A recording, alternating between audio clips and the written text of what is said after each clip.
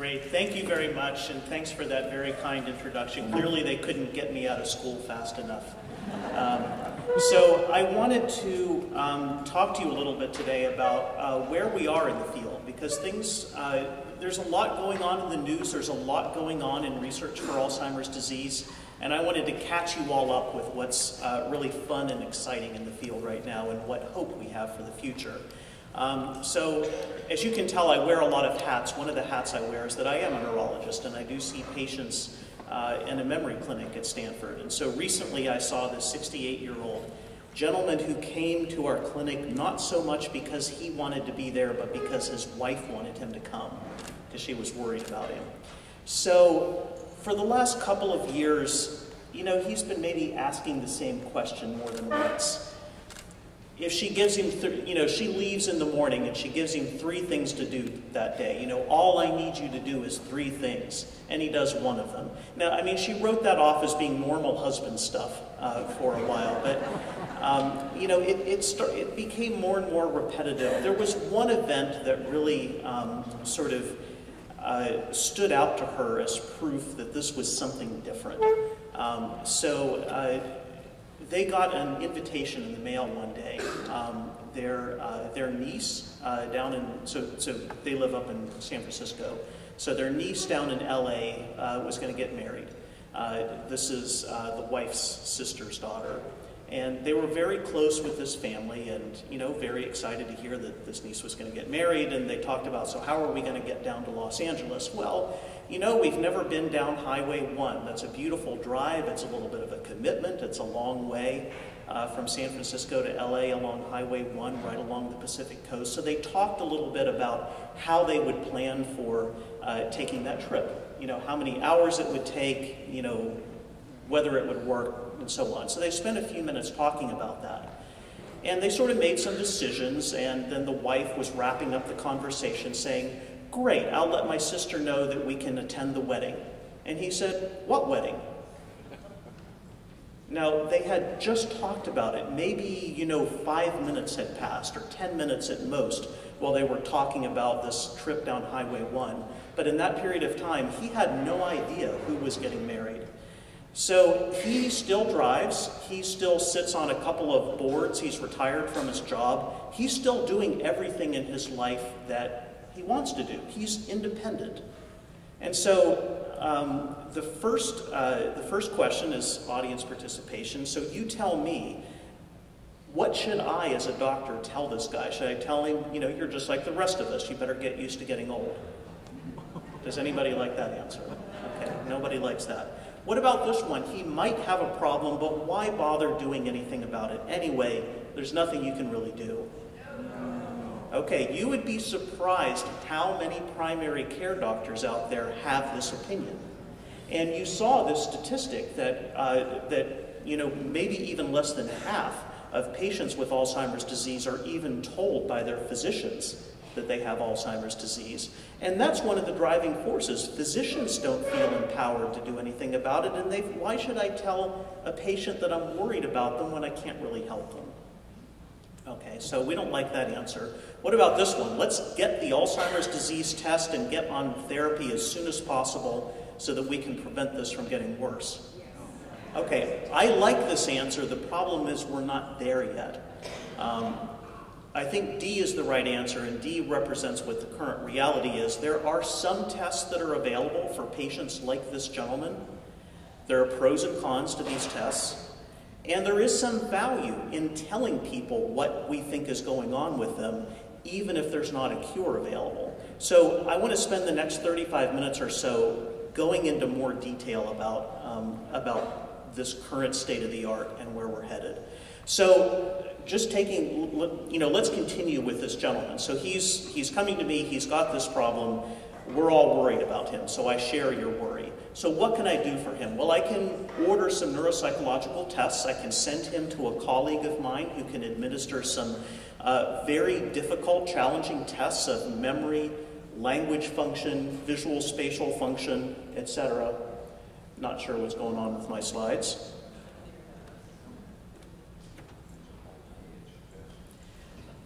Well, while we're figuring that out, I can just talk. So um, what these tests do is, um, uh, these tests are hard. Nobody gets 100% on them. And the goal is to, uh, to see if he is scoring outside of the normal range for people of his same age and same level of education.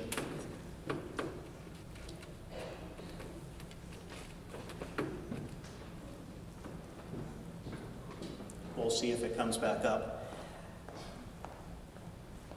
And then in addition, um, everybody who comes to see the doctor uh, with, a, with a new memory problem ought to have some blood work done because there are, by, one thing I'm going to emphasize is that Alzheimer's disease isn't the only thing that can cause memory problems.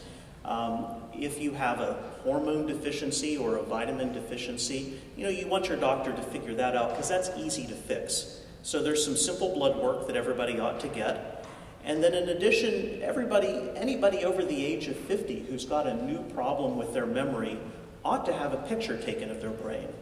Um, it's rare, but I have had cases of patients who come to my clinic with complaints just like this gentleman who, you know, surprise me and have a tumor or something else like that. A stroke can be the cause of a memory problem sometimes.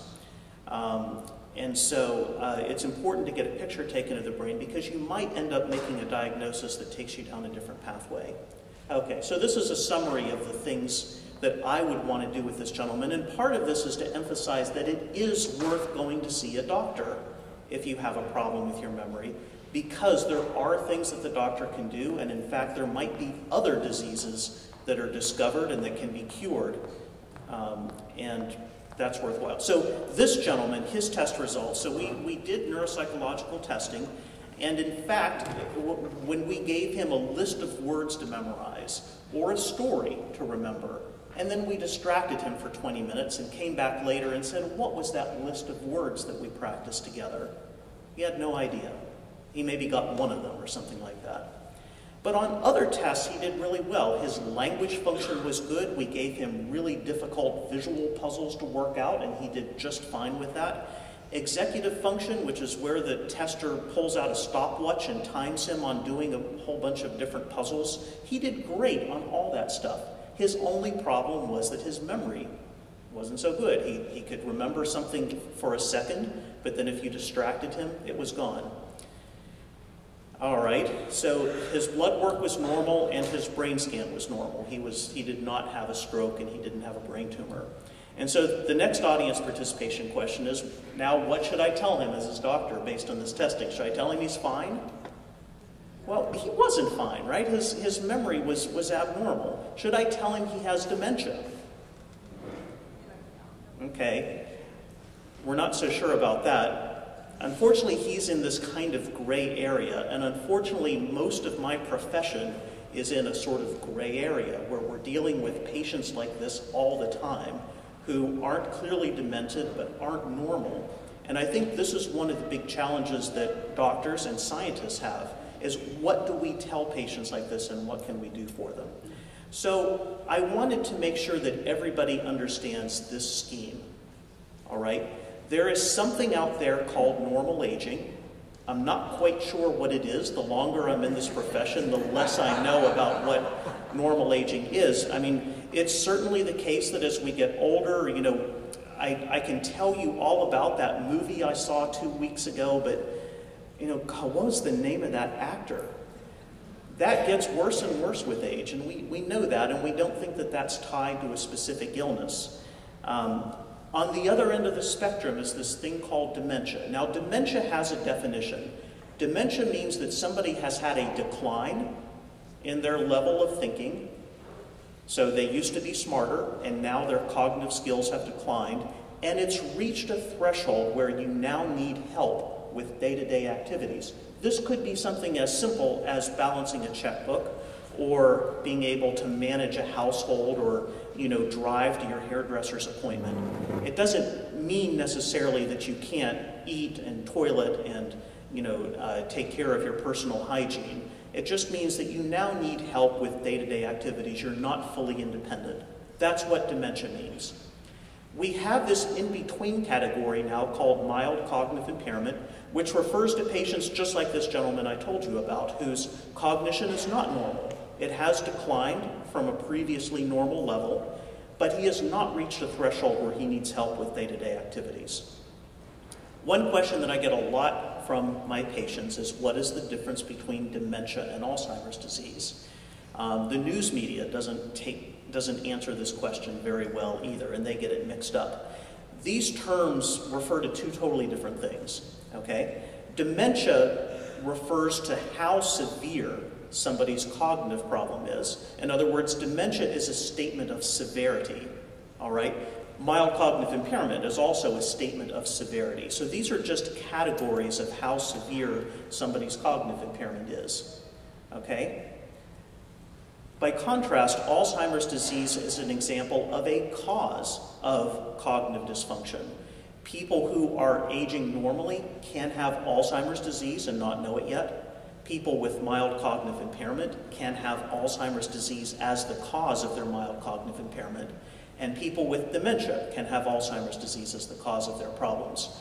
Um, one point I want to make is do not if a doctor tells you or a client of yours or a family member of yours, you have dementia, period, that's not the end of the sentence because dementia is not really a diagnosis. It's just a statement that somebody's had a decline in their cognition. You need to ask your doctor, well, what's the cause of the dementia? Is it Alzheimer's disease or something else? Okay? So, why does Alzheimer's disease get so much attention? Well, it gets so much attention because it is by far and away the leading cause of dementia in older people around the world. It causes at least two thirds of all cases of dementia. Um, the statistics you heard a bit about already, the sixth leading cause of death, it's probably actually a high, it, it's, I bet it should actually rank higher on the list of causes of death. Alzheimer's disease does not get listed on the death certificate as often as it should. Um, patients might die of pneumonia. Well, why did grandma get pneumonia? Grandma got pneumonia because she's been in bed for a year. Why has she been in bed for a year? Well, because she's demented, she has Alzheimer's disease and her family can't, you know, get her out and walk her anymore. Um, so Alzheimer's disease uh, kills a lot of people. Uh, probably well more than 5 million Americans have the disease. Two-thirds of them are women and it costs our country an incredible amount of money, as you heard Ruth tell you about. There are other causes of dementia. Strokes can cause dementia. Lewy body disease, which is a relative of Parkinson's disease, can cause dementia. Frontotemporal dementia, there are other rarer causes, infections like syphilis and HIV. There's a long list of things that doctors like me need to know about as being causes of dementia, and that's, again, the reason to go see a doctor is to make sure it's not one of these other things, some of which are treatable. The statistics are scary. At age 60, so if you take a room full of 60-year-olds, about 1% of them will have uh, the beginning symptoms of Alzheimer's disease. But there's this exponential rise that occurs after age 60, so that in the 85 plus population, that percentage is getting closer to 30 to 50 percent. So 30 to 50% of people over the age of 85 have both the symptoms of Alzheimer's disease in life and at autopsy, actually a greater proportion of them have the physical findings of Alzheimer's disease at autopsy, suggesting that if people had lived longer, eventually, well, this is a question in the scientific field. Would everybody get dementia if they, or get Alzheimer's disease if they lived long enough? Um, we're not sure if we know the answer to that, but certainly a majority of people do. What are the risk factors? Well, age by far and away is the leading risk factor. Can't do much about that. Genetics, can't do much about that either. Family history is important. There's a particular gene called the ApoE gene that comes in three flavors, ApoE2, 3, and 4. I don't know why there's not a 1. There just isn't. Um, but if you inherit the 4 version of that gene, ApoE4, you have an increased risk of getting Alzheimer's disease during your life. It doesn't cause the disease, and there are 90-year-olds who have the gene and don't have Alzheimer's disease, but it just raises your risk. Vascular risk factors, things like high blood pressure, high cholesterol, having had a heart attack or a stroke, all of these things raise your risk factors for getting Alzheimer's disease one day. Diabetes, Uh, type 2 diabetes, the type that we as Americans are getting more and more of because you know, we're, we're eating more carbohydrates and uh, we're getting fatter and, you know, and all this, the so-called metabolic syndrome that you've heard uh, doctors and the news media talk about. There's a tight association with type 2 diabetes and this metabolic syndrome and an increased risk of Alzheimer's disease. So this is a modifiable risk factor. This is a risk factor that we can do something about. Prior head trauma, another thing that we can do something about, like make kids put on helmets uh, when they do sports. Low education level, that's something that we can do something about as a society as well. That raises the risk of getting Alzheimer's disease. What are the symptoms? So, by far and away in my clinic, the first symptom that people are usually aware of, or their spouses or adult children are aware of, is difficulty remembering recent things. No trouble with what happened 20 years ago, but what happened five minutes ago is hard for the person to remember, and that's often the first thing to go wrong. Um, other things can come up, word finding problems. You know, can you hand me that, um, that, um, oh, you know, that thing over there. Um, but sometimes that problem gets worse and worse to the point that it's hard for somebody to communicate. Difficulty with navigation, and also difficulty with visual perception when it's not a problem with your eyes. Sometimes that can be a, a, a symptom in Alzheimer's disease. Difficulty with organization and problem solving, and withdrawal from usual activities. Sometimes, especially for people uh, living alone or with you know other forms of social iso isolation, sometimes people notice that with, you know, you know, Sally isn't showing up to Bridge Club anymore. Why isn't she showing up to Bridge Club anymore? Sometimes that's a sign that it's worth investigating a little bit because it could be that she's depressed. That's important um, to notice and to treat. But it could be that she forgot that it's Tuesday um, and, and isn't keeping track of her calendar anymore. In order to get my attention as a doctor, these symptoms need to get worse over time. Okay, so Alzheimer's disease gets worse from year to year. Patients, I, occasionally I have patients who come to me and say, hey doc, my memory's been crummy for 30 years. I say, well, that's just you. That's not, that's not a disease. Um, Alzheimer's disease has to get, uh, the symptoms need to get worse in order to capture the attention of the doctor. I'm saying that to put at ease uh, all of you in the room who are saying, you can't think of words and you can't remember how to uh, uh, you know, what happened five minutes ago. How does a doctor diagnose Alzheimer's disease? Well, in the old days, and to a large degree, we're still in the old days, a doctor like me will, you know, interview a patient, hear about the symptoms, and, you know, do the blood work that I talked about, do the brain imaging test that I talk about. And when nothing else comes up, there's no other diagnosis that can be made, there's no other you know, problem that I can see, I figure, well, you know, the cause of this patient's memory problems must be the one thing I can't test for, and that's Alzheimer's disease. Um, in life, the, the, the, diagnosis of Alzheimer's disease is only suspected. Um, the definitive diagnosis comes at autopsy. I offer autopsy to all of my patients. I have very few takers. I don't know, I don't know why. The problem with this approach is that it is both insensitive and nonspecific. So insensitive means that um, there are people who walk into my office uh, who I tell, you know, I think you're fine. I think this sounds like normal aging to me. I'm, I'm not too worried about you. Who, in fact, if I could magically do an autopsy that day, those people may actually have Alzheimer's disease, and I might be giving them inaccurate information. Okay? Um, this approach to diagnosis is also nonspecific. That means that there might be patients who walk into my office who I say, gosh, you know, I'm really worried about Alzheimer's disease in you. I'm worried that Alzheimer's disease is the cause of your memory problems. When in fact, if we could do an autopsy, we would find out it's something else, like Lewy body disease or frontotemporal dementia. Um, so this isn't acceptable. We as a field need to do a better job. We need to be definitive in talking with patients about what disease they have. Um, because I think being able to be definitive with patients is both what the patients want, and we need it as we start to develop therapies that eventually one day are going to uh, treat Alzheimer's disease, but not necessarily treat the other illnesses that I mentioned. And so the new days, I just told you that, you know, that approach to Alzheimer's disease as a diagnosis of exclusion is kind of the old days. The new days um, are such that we now have some tests that we can actually do in life to see if somebody has Alzheimer's disease pathology without waiting for an autopsy.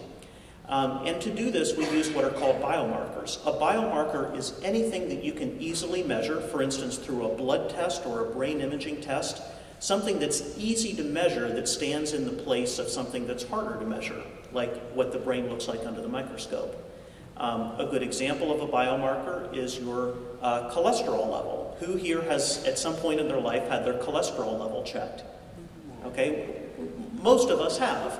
And your doctor checked it not because your doctor really cares about what your cholesterol level is. The LDL is the bad cholesterol. Cholesterol never killed anybody. Having too much of it or too little isn't a known medical problem. Rather, your cholesterol level is a biomarker of your risk for getting a heart attack or a stroke. Okay, does that make sense? Your, your doctor's checking your bad cholesterol level because he's trying to figure out what's your risk of getting a heart attack or a stroke one day, um, and then you know giving you treatments that will help to prevent that. So here's what we're trying to uh, figure out using biomarkers. So this is what a brain looks like under the microscope. There are two findings that the neuropathologist has to see. There are plaques, these kind of smudges, spherical smudges of a protein called beta amyloid. And there's this other finding in the brain called tangles. And this is a collection of a different protein called the tau protein. So a neuropathologist has to see both plaques and tangles, both the beta amyloid protein and the tau protein, in a patient who has cognitive problems in order to make a diagnosis of definite Alzheimer's disease. Okay? So, two things that that neuropathologist has to see. So what biomarkers do we now have at our disposal in the clinic? So one thing that I do in some patients is I do a spinal tap to get cerebral spinal fluid. Cerebral spinal fluid is this watery substance that surrounds your brain and spinal cord. Unlike the blood, cerebral spinal fluid directly touches the brain and therefore uh, shares some of the same chemicals that the brain has.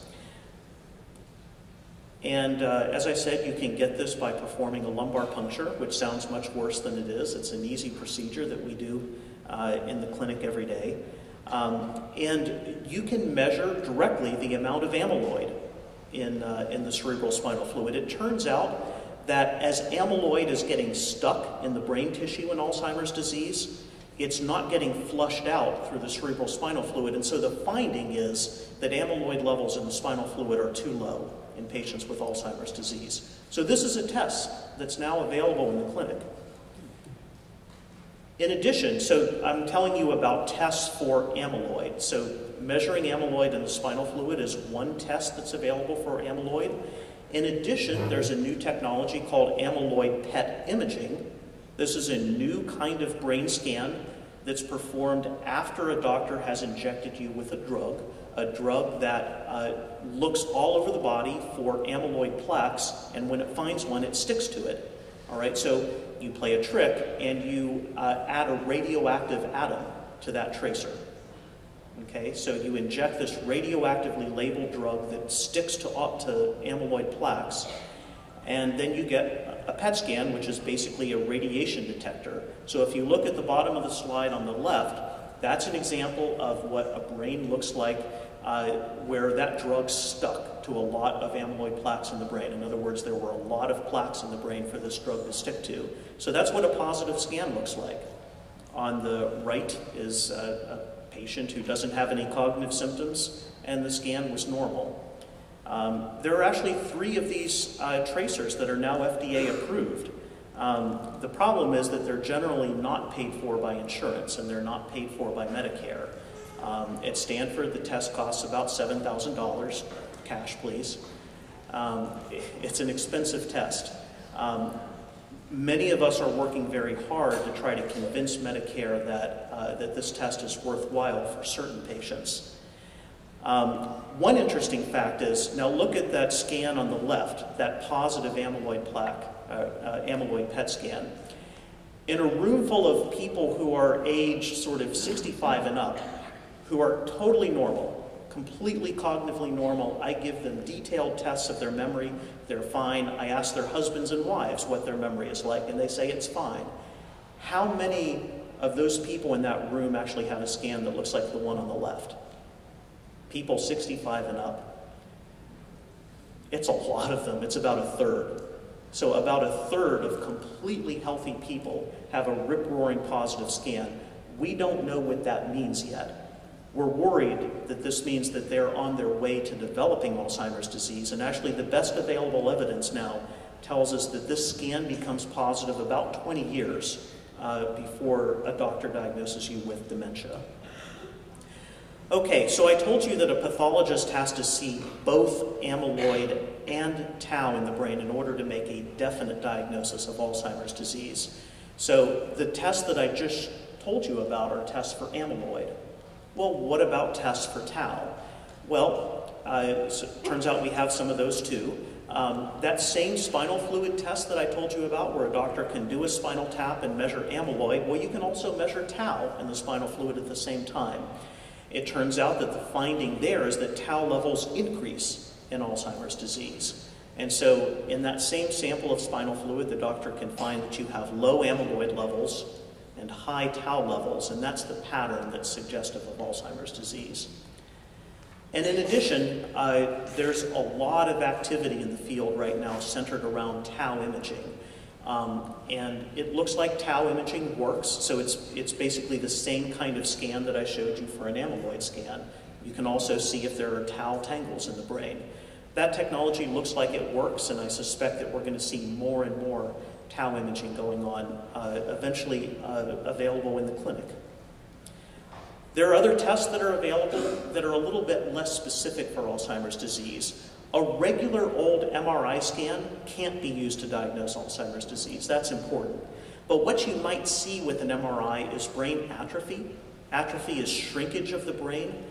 And that might give a doctor a hint that there is a degenerative process going on, like Alzheimer's disease. But note that other illnesses can cause brain atrophy as well, not just Alzheimer's disease.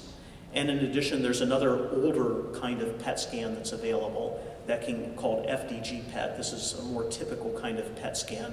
Um, and that can give doctors a hint of uh, brain activity and whether there's evidence of uh, a, a pattern of brain activity that's suggestive of Alzheimer's disease. But there again, it's not as specific as these other technologies I told you about. All right, so what if we learn from all these new biomarker tests that I just told you about? So as I hinted uh, already, amyloid is one of the first things to go wrong. In fact, we think that amyloid accumulates in the brain during a normal part of the aging process, such that by the time you transition to mild cognitive impairment, like the gentleman I just told you about at the beginning, amyloid is already pretty maximal in the brain. In other words, the brain is already pretty filled with amyloid plaques by the time somebody has very subtle symptoms. And there's not much difference between MCI and dementia in terms of how much amyloid there is in the brain. Tau's a little bit different. Tau probably accumulates in the brain a little bit later. And the best research available now suggests that most of that rise in amyloid occurs during the mild cognitive impairment stage or early, early dementia stage. And uh, cognitive decline is the last thing to happen. So there are a couple ways to interpret that. One is that, you know, aren't we as humans a remarkable species? Our brain can withstand an incredible amount of damage. It can, it can withstand all of these amyloid plaques and tau tangles before people start to exhibit symptoms. The flip side of this is by the time somebody shows up in my clinic, if I could somehow do an autopsy on them that day, I would see that their brain looks like a war zone. There's amyloid plaques all over the place. There's tau tangles all over the place. There's the detritus of dead uh, synapses and dead brain cells all over the place.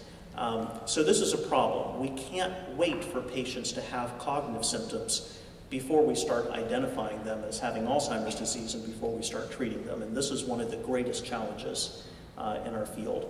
Just as an example of where I would use um, these kinds of biomarkers, so here's a patient who came to see me recently.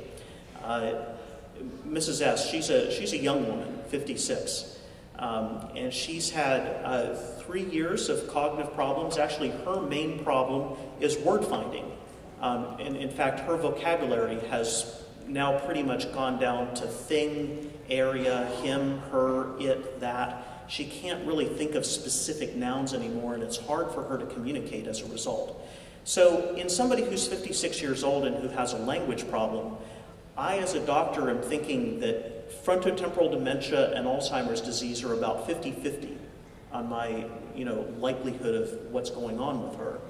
And so using a biomarker test could actually be very helpful because it would, uh, you know, this is a patient in whom I would offer a spinal tap. And actually, I would encourage her to undergo a spinal tap and to get her amyloid and tau levels checked because um, I would be able to tell her uh, if, if I think she has Alzheimer's disease versus frontotemporal dementia. And that's useful information for her and her family because it'll help me to uh, uh, educate them about what kinds of uh, symptoms to expect in the future and how this disease is likely to go. So that's an example of uh, how I use biomarkers practically in my clinic. How do we treat Alzheimer's disease? Well, not very well. There are four drugs that are FDA approved. Three of them are here. These three all do the same thing. You've probably heard of Aricept before. It's the most commonly prescribed medicine for Alzheimer's disease. These drugs boost the level of acetylcholine. It's a chemical in the brain. It makes people a little bit more alert, a little bit more focused, a little bit more in the moment. But it doesn't cure anything. It just squeezes a little bit more juice out of a brain that is going on to degenerate over time. There is, I told you there are four drugs that are FDA approved. The fourth one is called memantine. Um, and it kind of does the same thing. It, it squeezes a little bit more juice out of the brain but it doesn't cure anything. Here's one way to think about um, how drugs act. So, if this is what happens to your intelligence over time if you have Alzheimer's disease, in other words, an inexorable decline over time, here's what happens if you're given one of the currently FDA approved drugs, which I'll call a symptomatic treatment for Alzheimer's disease. So, at any given level or any given point in time, these drugs can boost your intelligence a little bit but do you see how I drew, drew this curve such that the slope is the same? In other words, how fast it's declining over time? So that's what I mean by a symptomatic treatment. These drugs are not able to change the trajectory over time. They don't prevent people from getting worse, and in fact, they get worse at about the same rate if they had never been on drug. What we really need, and what we're working very hard to develop, are disease modifying drugs, drugs that actually change the course of the underlying disease itself and stop it from getting worse. Okay? And this is what we hope a curve will look like that your intelligence can, can uh, flatten off and stop declining over time if you're given one of these uh, disease modifying drugs. If you don't believe me, believe the drug company. Um, so, uh, this is data from the manufacturer of donepezil, uh, Aricept uh, proving to you that in fact it doesn't change anything about the underlying disease. Uh, so here I am going to use a pointer, but I think, yes, I can use the computer to do it so you can see it on both screens. All right, so patients were given placebo or uh, Aricept. There is a placebo effect, so patients with placebo and with the active drug both got better on their intelligence after six weeks. But then you see the placebo people started dropping off and they started getting worse over time. And look, the patients on Aricept did great. You know, their intelligence sort of, you know, stayed high over this brief 24-week trial. But then they played a trick, and everybody who was on placebo stayed on placebo. Everybody who had been on the active drug were now switched to placebo. And look at what happened. So uh, the patients who were on the drug now dropped down to the point where they uh, where, the, where the placebo patients were, such that they were no better off in the long run for having been on that medicine. Okay, so that's the proof that the medicines that are currently available aren't really fixing anything. Okay, I lied to you. We actually do have a disease-modifying therapy. It's called exercise. Um, there's been copious amounts of evidence that people who engage in regular aerobic exercise If today you're demented and you start engaging in that exercise, you can slow the rate of progression. You can, you know, you can't stop the disease from getting worse, but you can at least slow it down. If today you do not have dementia and you start a regular aerobic exercise program, you can reduce your chances of ever getting dementia. Or if you get it, you can delay the age uh, at onset. So exercise is one of the most biologically potent things that we know of for uh, interfering in the dementia process. And a sedentary lifestyle is a risk factor for dementia and for more rapid decline. Mental stimulation is important, doing things like coming to an educational conference like this one. You're, you're forming new synapses right now as I speak, um, and you're doing good things for your brain, and you're helping to prevent uh, yourself from ever going on to get Alzheimer's disease. Cognitive stimulation is all the things that make up a busy, active lifestyle from social interactions to hobbies to having projects if you still have a job, uh, adventure, going on trips, going to museums. Um, I often get asked about brain training software. There's nothing special about the computer games that some companies sell. If you like them, that's great. If you would rather be out socializing, you know, talking with friends about current events, that's equally good for you. There's nothing special about a computer game that's any better than all of the other cognitively stimulating things that you can do in your life. I get a lot of questions about vitamins, herbs, and other supplements. Some are absolutely known to be ineffective. Ginkgo biloba, for instance, has been subjected to several large randomized placebo-controlled modern clinical trials where you give patients placebo and ginkgo biloba, and guess what happens over time? You absolutely can't tell the difference between the two groups. Ginkgo biloba does nothing. So, so that we know. Some might be harmful. There's been mixed evidence about vitamin E over the years. Um, Ten years ago, we thought that vitamin E was, you know, the savior of mankind. You know, doctors were prescribing it willy-nilly, telling patients that it was going to prevent cancer and prevent heart disease. And so, in fact, some people sat down and did some big clinical trials to try to prove it. And do you know what they found? Patients on vitamin E got more strokes and heart failure.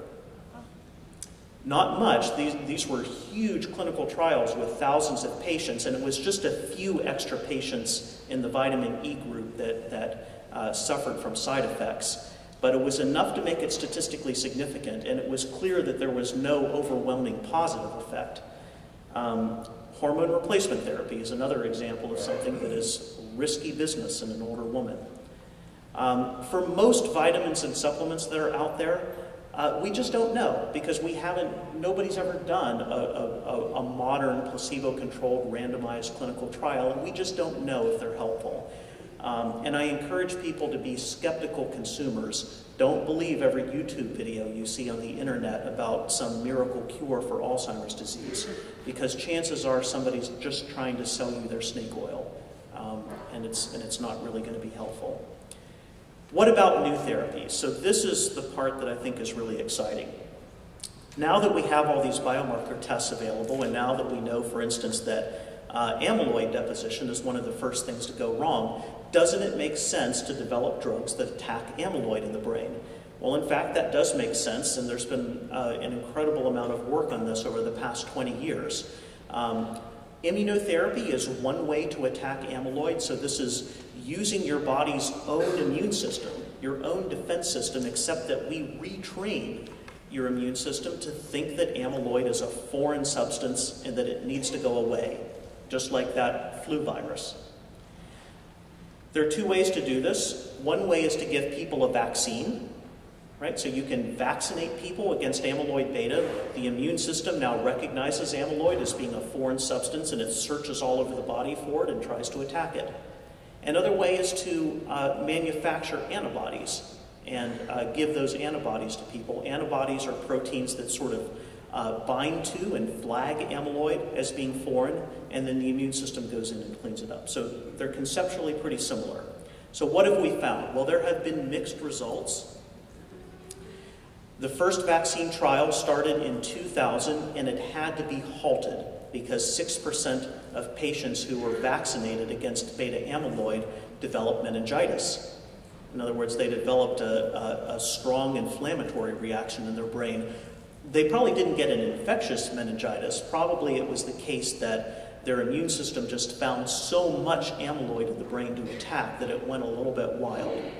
Okay?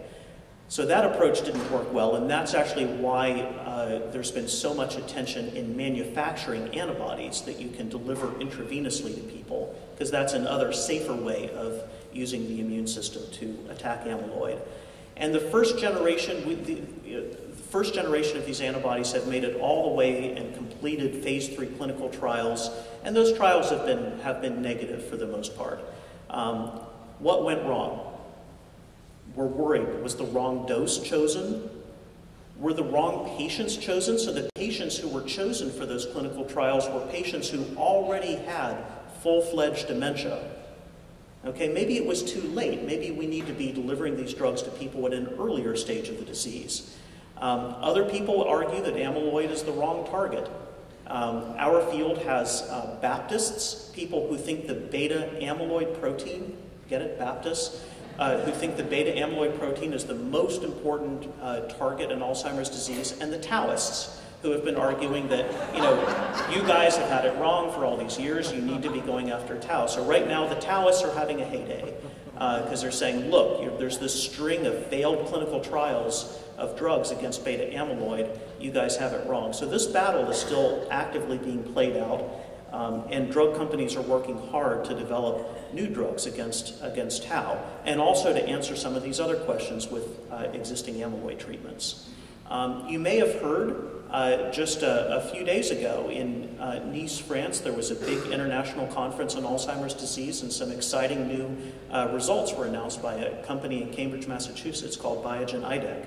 Um, they actually had a positive result in a, in a phase one trial of an anti-amyloid antibody. They were able to uh, uh, radically slow the decline in uh, people's cognition over a fairly short period of time. This came at the expense of a, a pretty notable side effect. Patients get uh, brain edema, brain swelling, um, kind of akin to that meningitis that I told you about that happened in the vaccine trial. Um, so it's exciting. This is the first time that a company has showed that an anti-amyloid therapy is really able to alter the, uh, the, the, the course of patients with Alzheimer's disease. We need to weigh as a field, what can we do about that side effect? Can we make it go away? Is it really not that big of a deal? Um, so this is something that we're uh, actively struggling with. It is clear that early intervention is important. Clinical trials are increasingly going to be uh, leaning on patients with mild cognitive impairment or even normal patients who are at risk of developing Alzheimer's disease. Remember I told you that a third of healthy older adults have a positive amyloid brain scan? Well, there's a trial going on right now of those people. So you can enroll in a clinical trial by going, you're perfectly healthy, you go in and you get one of these brain scans and find out that you have amyloid in your brain, and you can start on one of these therapies. And this trial is going to take a long time because, see, you have to wait and see who goes on to get dementia and who doesn't, and see, you know, see whether the drug has, has really worked. Um, so we have great hope that early intervention is going to be uh, helpful, and we're going to be using biomarkers and also using genetics to help us to identify people who are at risk of getting Alzheimer's disease. In addition, as I hinted, there are, uh, we're going to be seeing more and more clinical trials attacking uh, tau uh, and, uh, and other targets in Alzheimer's disease. Um, my vision of the future is that Alzheimer's disease will probably be a lot like HIV. You know, in HIV, you don't go on one drug. You go on several drugs that attack the virus at once. And, uh, and that's been a big success in HIV. I think in Alzheimer's disease, in the future, we're probably going to need multiple drugs to attack the disease from multiple angles in order to really give the most benefit to patients. And so one day, um, hopefully this gentleman who I told you about at the beginning, the 68-year-old man who couldn't remember that his wife had just told him that his niece was getting married, He'll come into my clinic, we'll do an amyloid PET scan, and I'll find out that it's rip-roaring positive. He's got amyloid plaques all over his brain. We'll do a tau PET scan, and we'll find out that it's intermediate positive, suggesting that he is starting to accumulate tau in his brain, and this is really worrisome. I will get him started on anti amyloid and anti tau therapy, and I will stop the progression of his disease. This is my vision of the future. Um, we're not quite there yet. Um, we need a lot more money for research. We need a lot more people who are interested in participating in clinical trials. This is very hard work, it's expensive work, and it's long work. Um, but I think that this is a puzzle that we can solve. Um, and I hope that all of you will help us uh, in this journey. So just wanted to uh, thank all of you. Um, I just put up some notes about uh, uh where I come from and where I do my clinical work at Stanford. But I also want to put in a big plug for the Alzheimer's Association, which is uh, really an incredible leader uh, both in advancing the care and support of patients with Alzheimer's disease, uh, but also in supporting uh, research. They are the biggest private funders of uh, research, and they're really trying to pick up the slack, and the government has left a lot of slack in this area. Um, so I just want to highlight their important contributions. So thanks very much.